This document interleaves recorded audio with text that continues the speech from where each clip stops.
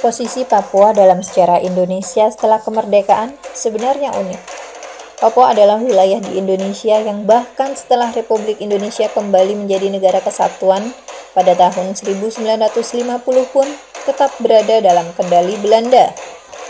Khusus persoalan Papua, berdasarkan hasil KMB tahun 1949, sesungguhnya akan dibicarakan kembali oleh pemerintah Republik Indonesia dan Belanda satu tahun kemudian. Nyatanya, hingga tahun 1962, ketika Indonesia akhirnya memilih jalan perjuangan militer dalam merebut wilayah ini, Belanda tetap berupaya mempertahankan Papua.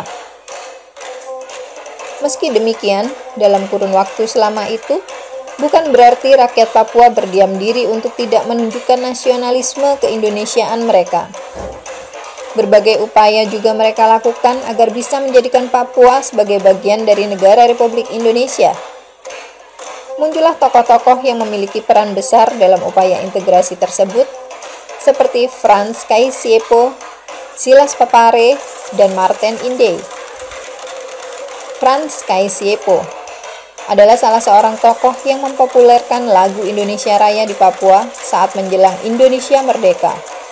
Ia juga turut berperan dalam pendirian Partai Indonesia Merdeka atau PIM pada tanggal 10 Mei 1946. Pada tahun yang sama, Kei Sepo menjadi anggota delegasi Papua dalam konferensi Malino di Sulawesi Selatan, di mana ia sempat menyebut Papua atau Netherlands New Guinea dengan nama Irian yang konon diambil dari bahasa Biak dan berarti daerah panas. Namun kata irian tersebut malah diberinya pengertian lain. Ikut Republik Indonesia anti-Nederland. Dalam konferensi ini, Franz Kaisiepo juga menentang pembentukan negara Indonesia Timur atau NIT karena NIT tidak memasukkan Papua ke dalamnya. Ia lalu mengusulkan agar Papua dimasukkan ke dalam Karesidenan Sulawesi Utara. Tahun 1948, Kei Siepo ikut berperan dalam merancang pemberontakan rakyat Biak melawan pemerintah kolonial Belanda. Setahun setelahnya, ia menolak menjadi ketua delegasi Netherlands New Guinea ke konferensi meja bundar di Den Haag. Konsekuensi atas penolakannya adalah selama beberapa tahun setelah itu, ia dipekerjakan oleh pemerintah kolonial di distrik-distrik terpencil di Papua tahun 1961, ia mendirikan Partai Politik Irian Sebagian Indonesia atau ISI yang menuntut penyatuan Netherlands New Guinea ke negara Republik Indonesia. Wajar bila ia kemudian banyak membantu para tentara pejuang Trikora saat menyerbu Papua.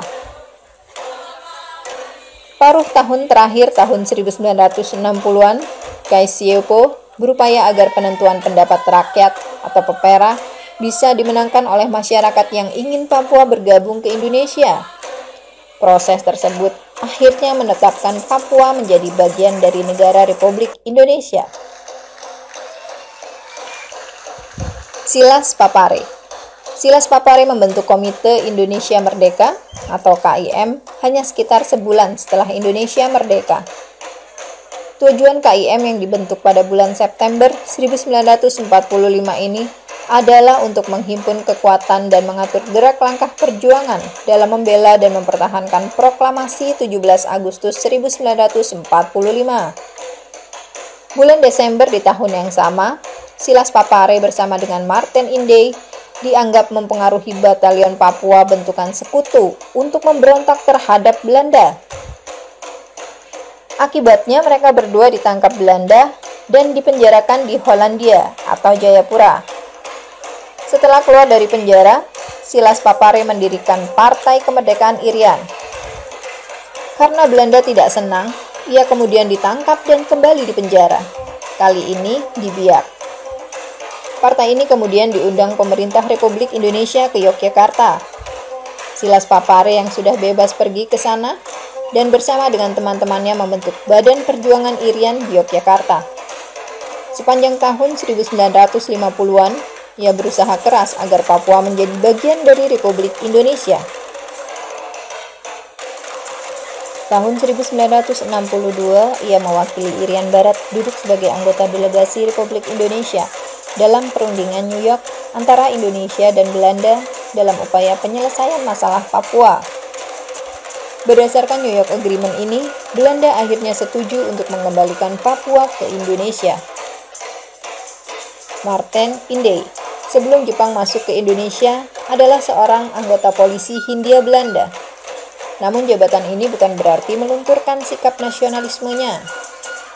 Keindonesiaan yang ia miliki justru semakin tumbuh tatkala ia kerap berinteraksi dengan tahanan politik Indonesia yang dibuang Belanda ke Papua.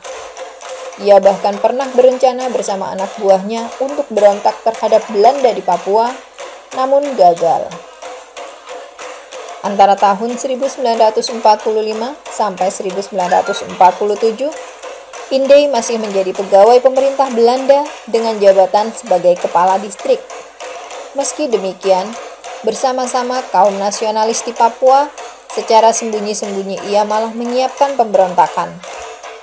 Tetapi sekali lagi, pemberontakan ini gagal dilaksanakan. Sejak tahun 1946, Martin Indey menjadi ketua Partai Indonesia Merdeka atau PIM ia lalu memimpin sebuah aksi protes yang didukung delegasi 12 kepala suku terhadap keinginan Belanda yang ingin memisahkan Papua dari Indonesia.